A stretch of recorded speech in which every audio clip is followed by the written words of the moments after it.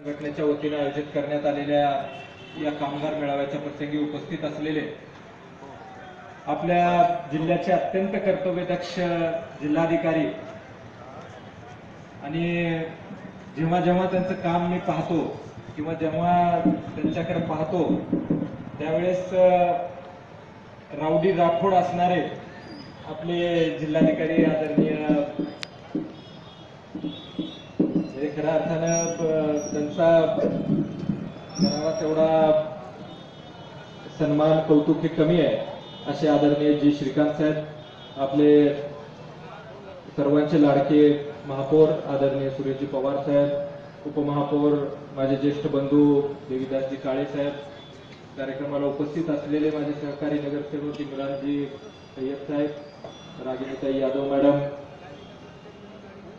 मंचावर उपस्थित असणारे काँग्रेसचे अल्पसंख्याक विभागाचे अध्यक्ष आदरणीय सय्यद रफिकजी कामगार मजूरहित संघटनेचे प्रमुख आपल्या सर्वांचे मित्र गौसभाई कार्यक्रमाला उपस्थित असलेले आपल्या लातूर शहरातले सिंगम अधिकारी आदरणीय नागरगोजे साहेब आणि दुसरे सर्वांचे लाडके आणि कर्तव्यदक्ष अधिकारी आदरणीय मातलवंडे साहेब नक्कीजी अनवरजी सर्वच उपस्थित मान्यवर मंडळी मी फारसा आपला वेळ घेणार नाही.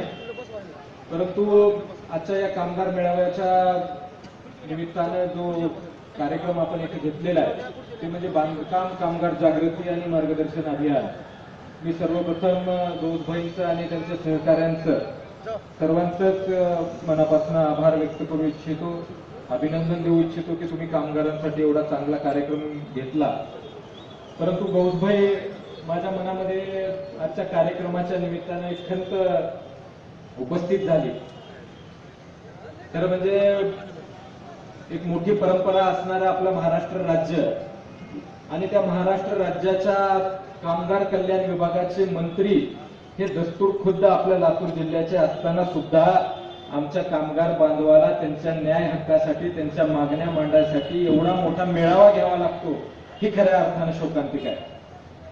कारण आम्हाला सर्वांना अपेक्षा होती की लातूर जिल्ह्याचे पालकमंत्री आदरणीय संभाजी पाटील साहेब हे कामगार कल्याण मंत्री सुद्धा आहेत. त्यामुळं आम्हाला असं वाटलं होतं की आता महाराष्ट्रातल्या तर सोडा पण लातूर जिल्ह्यातल्या सर्वच कामगारांचे प्रश्न भेटले असतील.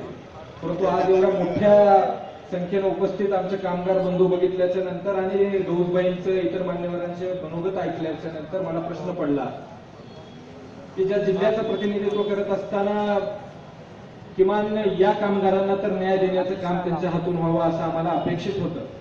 परंतु काही अडचणींमुळे ते काम झालं नसेल. माझी आज या मंचाच्या माध्यमातून त्यांना सुद्धा विनंती राहणार आहे की त्यांनी आमच्या कामगार बांधवांचे प्रश्न समजून घ्यावेत. त्यांना न्याय देण्याचं काम करावं. कारण आपण मा- सर्वांना माहिती आहे की लोकनेते विलासरावजी देशमुख साहेबांनी त्यांच्या कार्यकाळामध्ये कामगारांसाठी अनेक योजना आखलेल्या होत्या.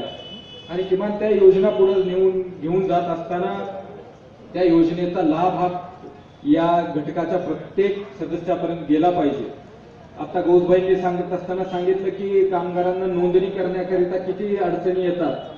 माननीय जिल्हाधिकारी महोदयांच्या निदर्शनास मला आणून द्यावं की, सर ये जो गौसभाई और इनके सहकारी है, इन्होंने पिछले कुछ सालों से कामगारों के लिए बहुत अच्छा काम किया हुआ है, जिसका साक्षीदार मैं खुद हूँ।